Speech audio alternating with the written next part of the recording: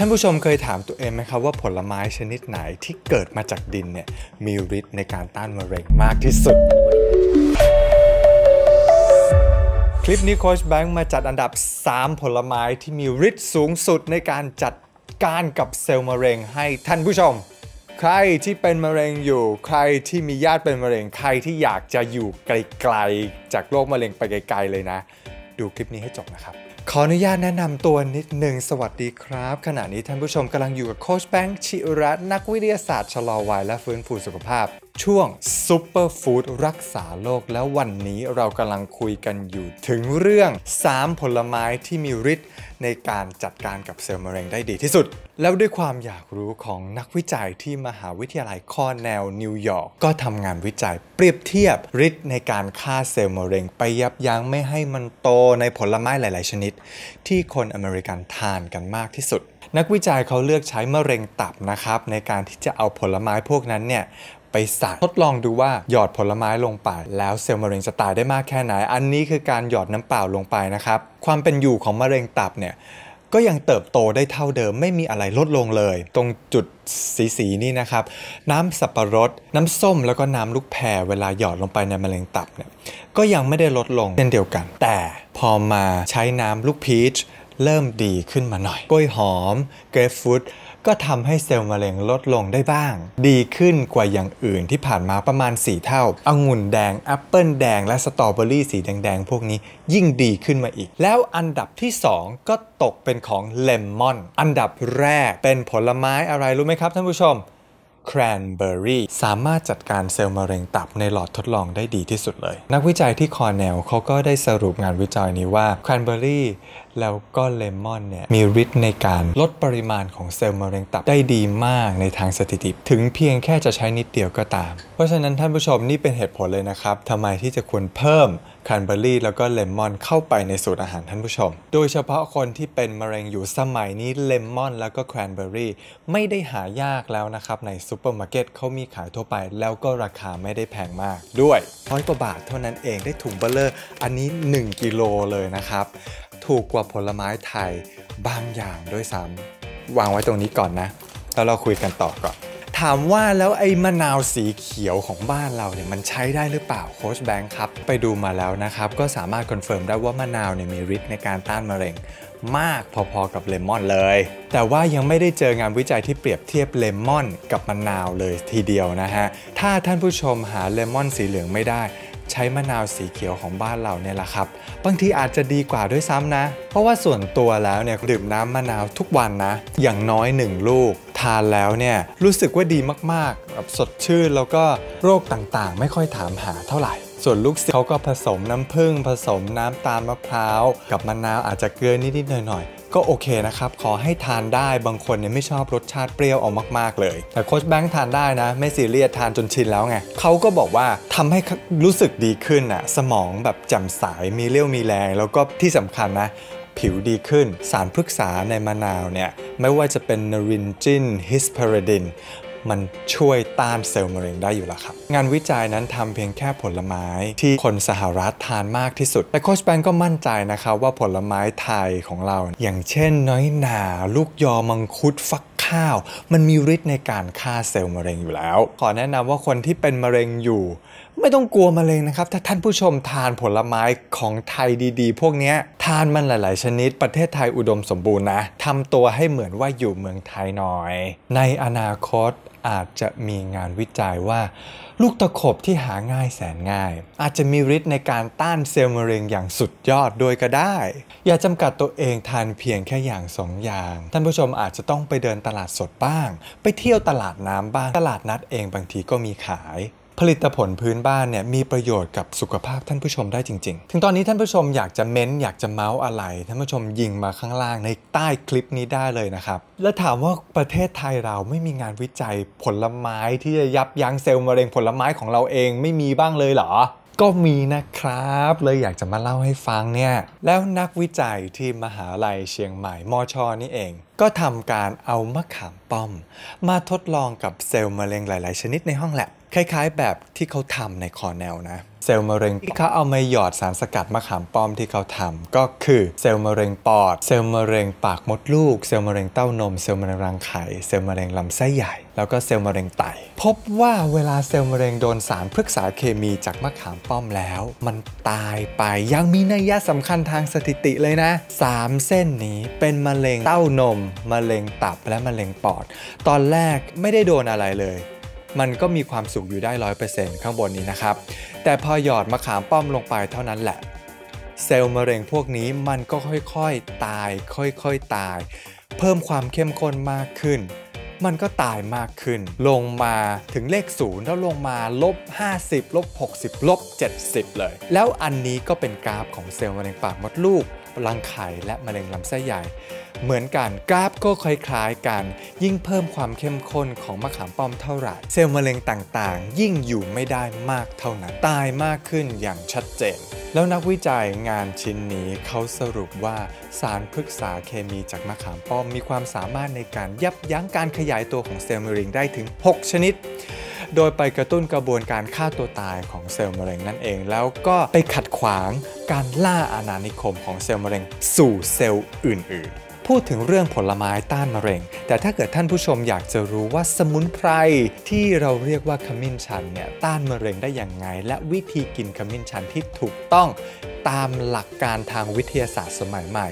ทำอย่างไรท่านผู้ชมสามารถไปคลิกที่คลิปด้านขวาบนนี้ได้เลยนะครับ แต่ถ้าเกิดอยากจะดูคลิปนี้ให้จบก่อน ใส่ลิงก์ไว้ด้านล่างในช่องขาวๆนี้นะ ไปคลิกแล้วท่านผู้ชมจะได้รู้วิธีการทานขมิ้นชันอย่างถูกต้องถูกวิธีโคชแบงค์คะแล้วอะไรมันจะดีกว่ากันเนี่ย งานวิจัยฝรั่งกับงานวิจัยไทยแครนเบอร์รี่กับมะขามป้อมอะไรมันจะดีกว่า แล้วหนูจะได้ไปหามากิน ได้ถูกเป็นคำถามที่ดีมากเลยนะครับ เพราะว่ามันยังไม่มีงานวิจัยที่เอาแครนเบอร์รี่มาเปรียบเทียบกับมะขามป้อม ชัดเจนกับเซลล์มะเร็งแบบนี้นะ แต่สิ่งที่เราสามารถเปรียบเทียบ 2 อย่างนี้ได้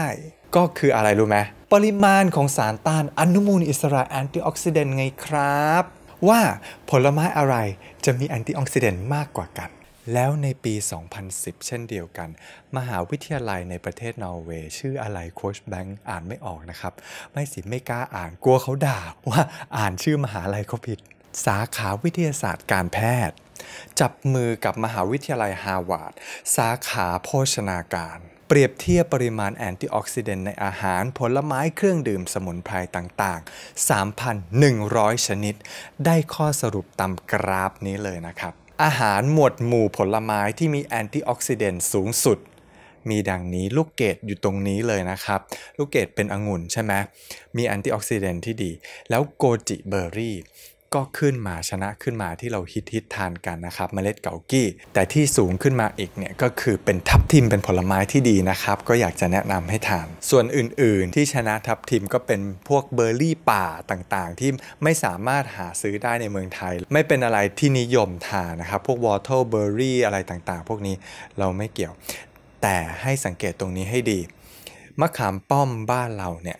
มันชนะทุกคนสูงขึ้นมา ปี๊ดทำให้คนอื่นดูไล่เลี่ยติดดินไปหมดเลยนะ สุดยอดมากๆโคชแบงค์เริ่มที่จะคิดว่าความฝาดของมะขามป้อมเนี่ยมันเป็นอะไรที่เราควรกิน มันเป็นอะไรที่เฮ้ยมันจะต้านความแก่เราได้โค้ชกลัวที่สุดเลยนะครับ กลัวความแก่เปิดเผยเลยนะครับ ความลับของโค้ช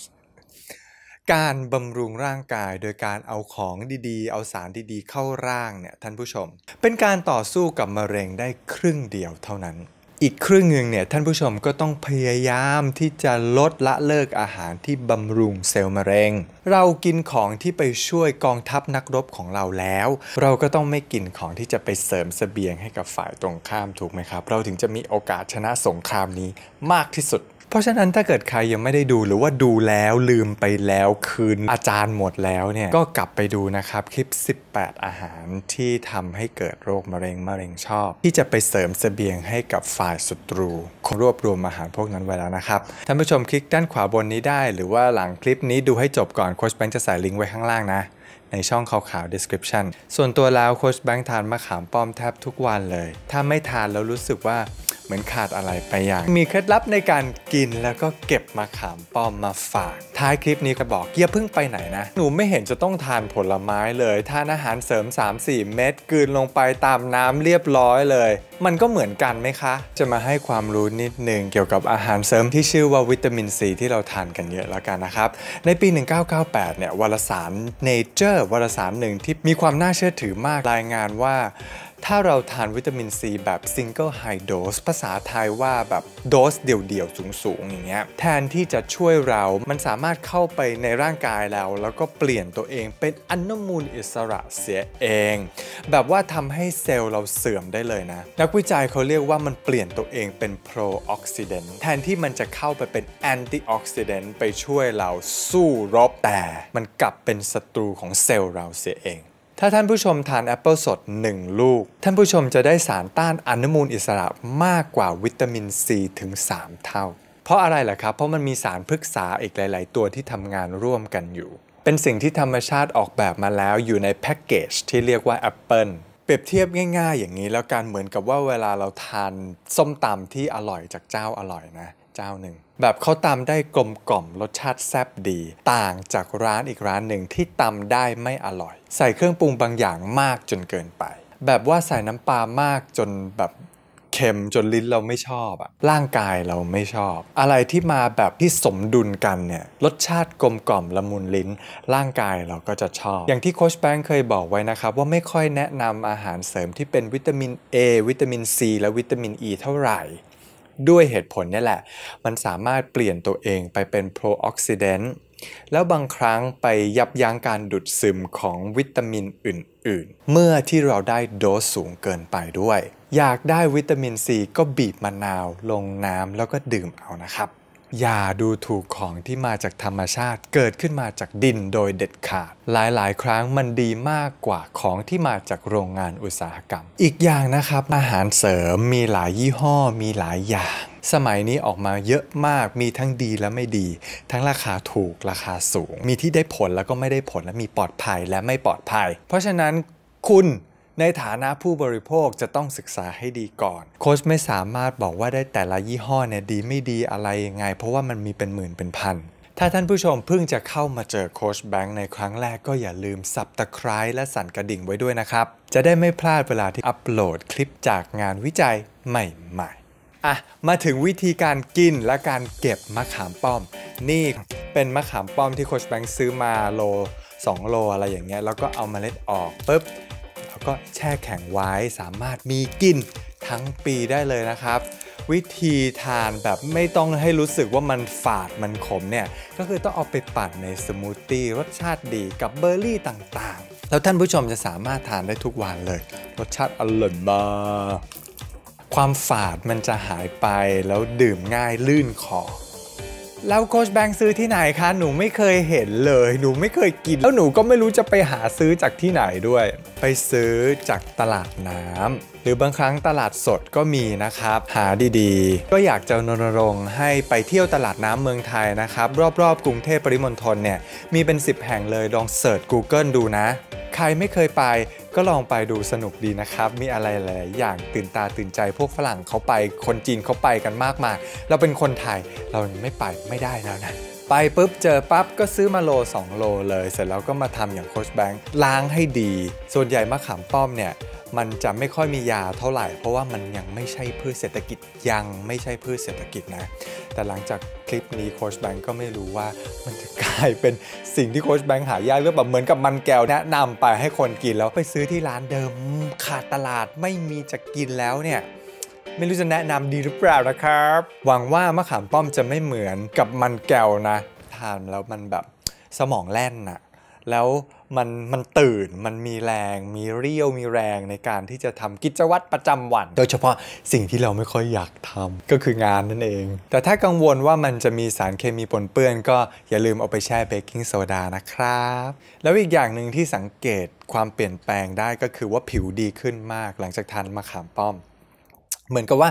ผิวมันได้สารอาหารที่เต็มที่ skin food นะครับ ไม่ต้องทาโลชั่นเลยแบบลื่นปืดลื่นปืดทั้งตัวเลยไม่ใช่แค่หน้าอย่างเดียวนะ ถ้าเราทาโลชั่นมันก็ได้แค่หน้าใช่ไหมแต่เรากินเข้าไปเราได้ทั้งตัวเลยนะ เลยอยากจะบอกลูกศิษย์ว่าเจอมะขามป้อมที่ไหน ซื้อตุนเก็บไว้เลย แต่ไม่จำเป็นจะต้องทานแบบสดอย่างเดียวนะครับ เดี๋ยวนี้มันมีผลิตภัณฑ์จากมะขามป้อมมากมาย จากอินเดียเนี่ยเขาชอบทำมาเป็นผงนะ มีหลายยี่ห้อมาก แล้วในเมืองไทยก็ทำออกมาเป็นน้ำหรือมะขามป้อมแช่อิ่มเองเนี่ยก็ยังมีฤทธิ์ในการต้านอนุมูลอิสระอยู่ได้ดีมาก อาจจะหายไปบ้าง แต่การที่มันมีเยอะอย่างนั้นอะโค้ชก็คิดว่ามันก็คงจะหลงเหลืออยู่บ้างแหละ กินผลไม้ไทยชนะเซลล์มะเร็งแน่นอน ฝากกดไลค์กดแชร์นะครับ จะช่วยช่องโคชแบงค์นี้ได้มาก ๆ เลยก็ต้องทานมากแค่ไหนครับ วันหนึ่งจะได้ผลลัพธ์อย่างที่เขาทำกัน แนะนำนะครับสำหรับคนปกติไม่ได้เป็นโรคร้ายแรงอะไร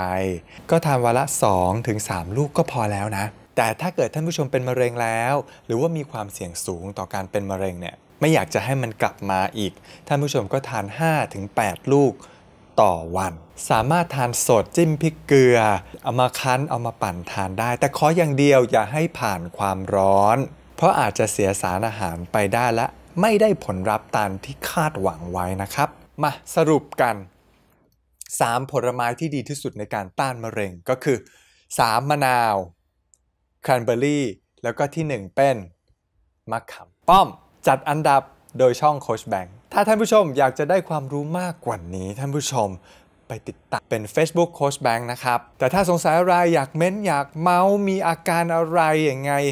เม้นมาใต้คลิปนี้ YouTube นี้ได้เลย จะเห็นตรงนี้ได้เร็วที่สุด โรคมะเร็งขึ้นมาเป็นอันดับหนึ่งการเสียชีวิตของคนไทย สูงกว่าอุบัติเหตุอีกนะครับ โคชแบงค์เห็นสถิตินี้แล้วก็อยากจะเอามาแบ่งปันให้ท่านผู้ชม มีความรู้ในการที่จะเลือกซื้อของเข้าบ้าน เลือกซื้อของฝากคน แล้วก็เลือกซื้อของที่จะเอามาทำให้คนที่เรารักกิน ร่างกายเราจะได้มีความสามารถในการจัดการเซลล์มะเร็ง เซลล์ที่มันเสื่อมแล้ว ก็ให้มันตายไป การตัดสินใจที่จะกินอะไรหรือไม่กินอะไรนะ เป็นสิ่งที่มีอิทธิพลมากกับโรคโรคนี้เลยนะจำไว้ ของกิน แล้วอย่าลืมเอามะขามป้อมแครนเบอร์รี่เลมอนมะนาว